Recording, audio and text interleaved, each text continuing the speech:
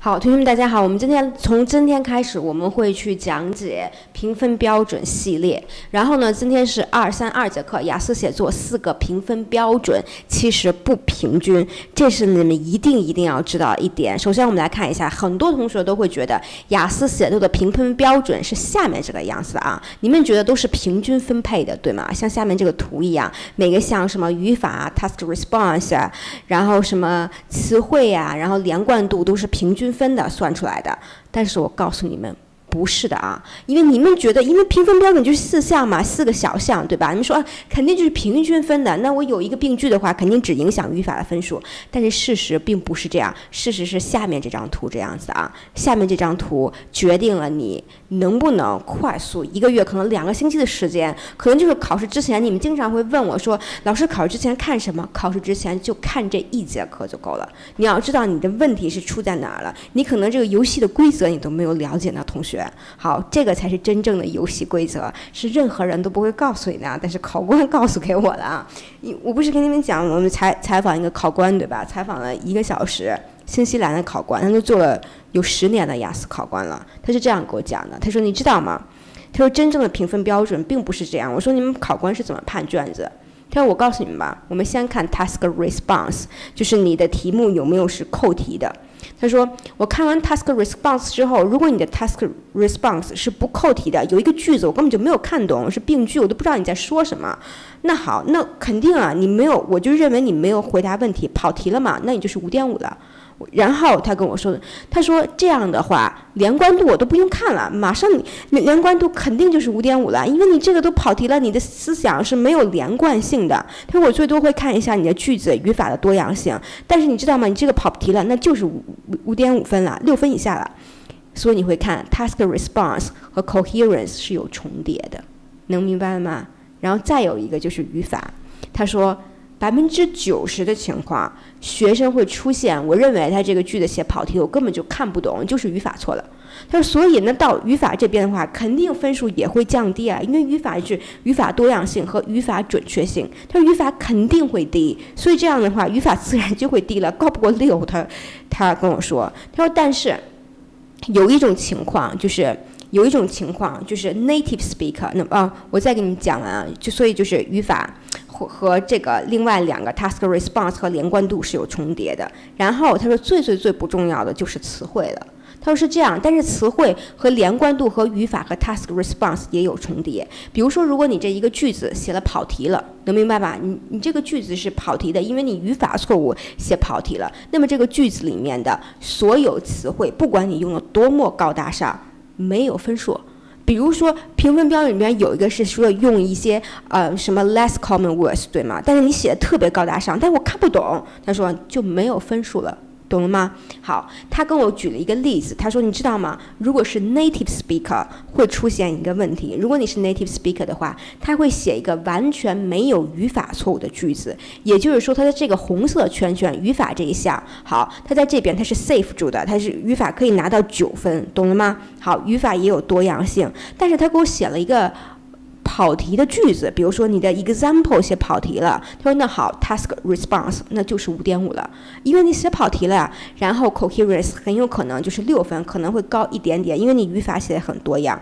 但是它的 grammar 和 lexical 很有可能都是八分，那他最后的成绩有可能还是七，就是有可能就是六点五分。他说这就是为什么很多 native speaker 会写一个六点五分的文章。他说有的 native speaker，我跟他说我说我的学学生写七七点五分，他说怎么可他我我。说很快一个月就写到，他就觉得很奇特。我给他讲我是怎么样讲课的，他就觉得特别神奇。他觉得天哪，你可以把所有的真题全部都，因为我们还会去分享考试真题什么的。他会觉得我可以把所有真题都整理成这样。他说 native speaker 出的问题就是这个，后 grammar 和语法就和单词很高，但这两个写跑题了，所以你就会发现这个才是真正的。评分标准的重要性，能知道了吗？所以你这样看，你才会知道哦，task response coherence 和 grammar 是那么那么的重要的，能明白了吗？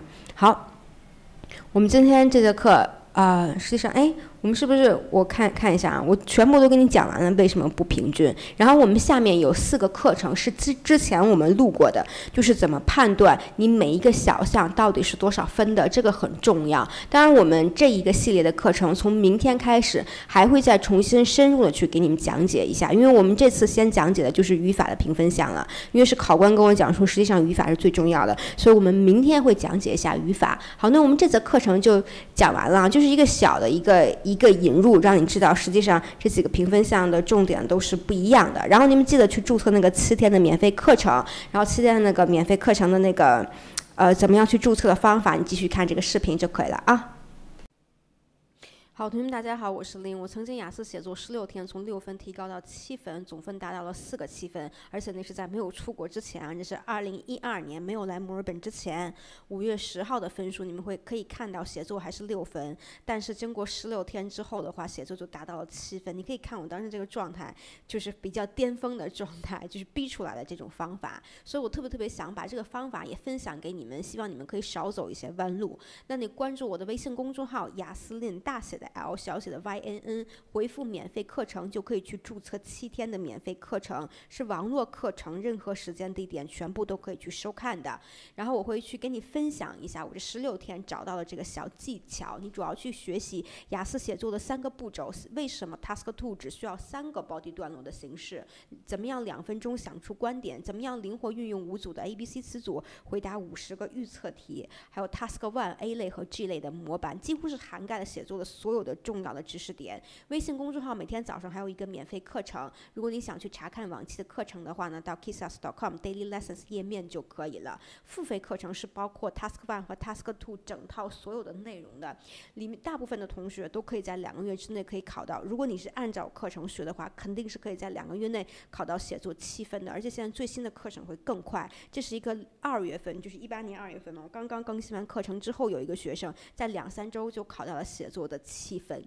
然后他那篇文章实际上逻辑还有一点点小问题，都是七分了。我们就是完整版本的课程也是分为三个步骤，第一个步骤就是结构和模板，都是网络课程啊。然后第二个就会告诉你为什么不用学语法就可以用万能七分以上的结构搞定我们七分的写作。然后第三个就是最最最主要的，我们有一百五十个预测题目，可以保证在考试里面是百分之九十重现，同时回答这些 A 预测题目的 A、B、C 词组是在考试里面百分之。呃，百重就可以说是百分之百重现的。我们会告诉你怎么样去灵活运用最最最少量的 A、B、C 词组，大概就是五十大组的 A、B、C 去回答这一百五十个预测题目，所以大家通过率都很高。Task One 是有 A 类和 G 类的模板和范文，有大量的练习。好，VIP 课程的是有作文批改，是直播互动课。所有这两种类型的课程是全部都可以在。就是在网站上面两个月之内无限次数去收看的，所以我们 VIP 课程就是保过会比较快一点。有学生十四天考到六到七分，你们可以去看一下这个经验分享，我觉得会比较就是重要这个经验分享。四月七号到四月二十一号提高七分，还有学生，如果你基础很一般的学生，两个月时间每天只学了三个小时，从五点五考到了一个写作的七分，这是一七年十月二十八号刚刚拿到的成绩。还有学生是中国大陆的学生，四个月时间六。六到七点五分，你们认为在大陆考不到七分的同学，你来看一下人家是怎么学学习的啊？重点去看一下他那个经验分享是什么。下面就是我们的就是外教批改的这个样子，就是四个项目的批改，我们是新新来的外教，保证你在二十四小时之内去得到反馈，而且我们有一个独家的语法修改表格，会把你的语法根据你语法错误的类型去给你分类，这样才可以拿的保证你的一个高分。微信互动是和助教去，我不会在微信和你们去互动。但是你会和助教互动，我们助教也是外国国籍的。然后，呃，可我的就是以这种形式，就是直播课的形式，然后我们会录下来，你们都可以呃回过头来去看一下回放，去解决你们在。就是在作业上面会碰到一些问题。如果你想了解付费课程的话呢，关注微信公众号，回复“付费课程”就可以了。但是我做课程的目的还是希望这个方法可以帮助越来越多的同学，所以我建议你们还是多看看这个免费课，整个方法都理解之后再决定是不是去报名付费的课程。呃，希望这节免费课程可以帮到你。